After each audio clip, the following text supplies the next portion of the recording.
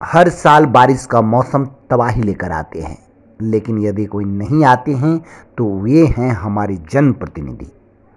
जी हाँ यह आज भी विडंबना है बेनीपट्टी अनुमंडल के अंतर्गत सबसे बड़े पंचायत पाली के खसिया घाट टोले की। सौ परिवार किसी तरह सामान्य समय यानी बाढ़ के बाद केवल तीन माहों तक चैन से रहते हैं, लेकिन बाकी के माहों में राम भरोसे।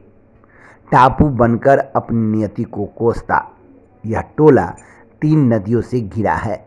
नतीजतन कोई जनप्रतिनिधि अपनी जान जोखिम में डालना पसंद नहीं करता।